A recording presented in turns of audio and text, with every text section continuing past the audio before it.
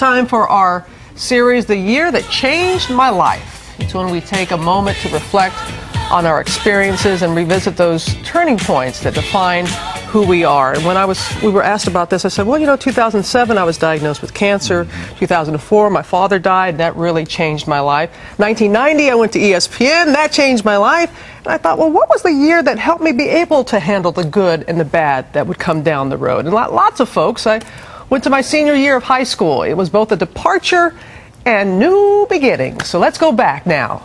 1979.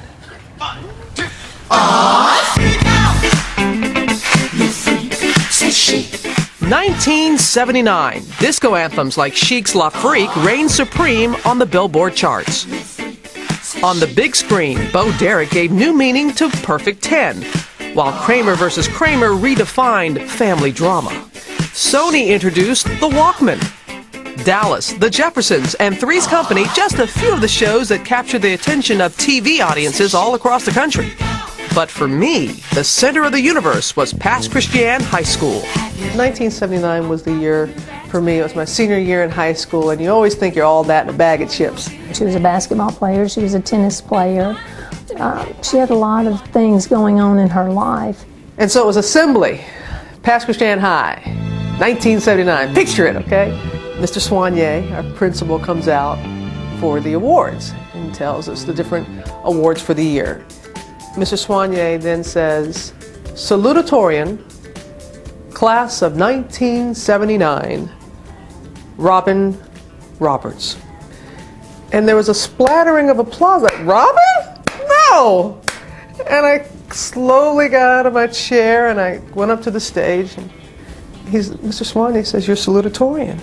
Was I the smartest? No, but I was the second smartest. But it wasn't even that. It was, I actually always tried my best. It changed my whole outlook and on what I could do and what I could achieve, and that I didn't just wasn't going just to rely because at that point I'd always say, "Oh, I'm going to be a professional athlete." She was much more confident, much more um, ready to conquer the world. And I had the heart and the desire, but this is a muscle that we all can use and we're all blessed with. I could have won every national championship and state title none of it meant as much as, as being named salutatorian. That just felt good.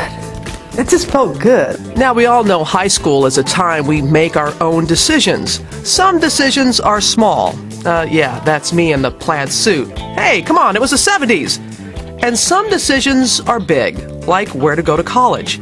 I had an opportunity to play college ball for one of the best known programs in the country. I had decided that I was going to attend LSU, something that I had always said. And uh, shortly after graduation, Coach Logue drove me to Baton Rouge to check out the campus and play a little basketball with the team.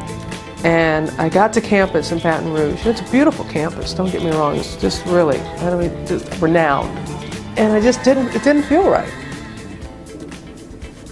just didn't didn't feel like me didn't feel right. It's a huge campus and it was pretty overwhelming for her.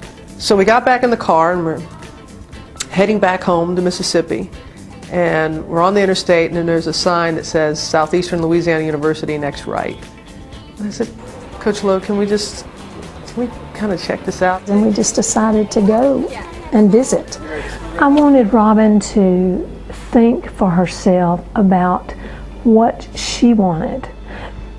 People all around were saying, You need to do this, you need to do that, or why don't you do this? And I thought that for Robin, she needed to just find within herself what she needed to do.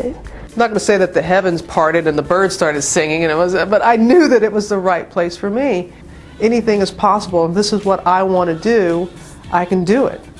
I should do it. Robin had um, had just grown up before my eyes, basically. After high school graduation, I headed to Southeastern Louisiana University. I played basketball, met amazing teachers and friends, and continued my journey of self discovery. The lesson for me, I learned how to trust myself, and that has served me very well. We always have that inner voice. We always hear that. We don't always listen. And when you get quiet and you hear that, it just it serves you well in so many ways. Ah, 1979. Good times. Good times. Good times. We have good times. I was blessed to have some of the most uh, amazing teammates, friends, and teachers, and I really learned to trust myself. And I had a great safety net, wonderful parents at home. But were you shy? Is, is that what we're hearing in there I too? was I was not confident. I thought everything existed because I was a good athlete. Ah. And so that was every that was my entire focus and so it was it was the first time that I realized that I had been applying myself in other areas. And education as you know is so important to mm-hmm. to our family. So it just gave me that aha moment. And it also it was a big deal to I said I was going to a, a prominent university and I changed my mind because I followed my heart. And I love Southeastern Louisiana University. I'm so glad I made that decision. And LSU is fabulous and all that. But it was just uh, taking that moment to, as I said, actually listen.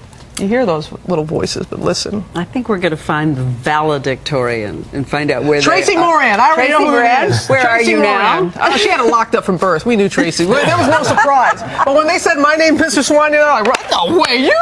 And I was, I was hesitant. I was like, I thought, oh, this is a joke. It was before being, you know, punked or whatever. I'm like, I, I'm not getting up there. But you just never know how life is going to surprise you. That's you never it. know. That's it. The good Yeah. things happen sometimes when you're not watching That's them the best happen. part.